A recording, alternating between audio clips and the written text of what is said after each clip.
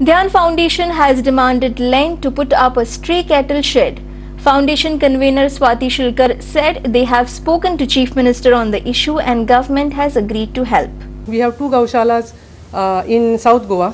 We have about 575 cattle. And whenever and wherever there is an accident in Goa, 24 into 7, Dhyan Foundation is the only uh, gaushala, the NGO, that picks up these cattle and takes care, care of them. So basically what we are doing, no one was attending to injured cattle.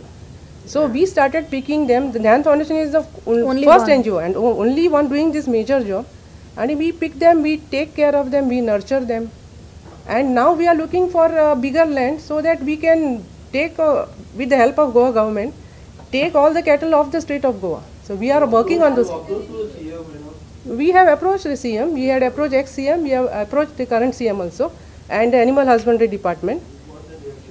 They, they are ready to help us, but the land is a major constraint. Because of the land, this otherwise we would have picked up.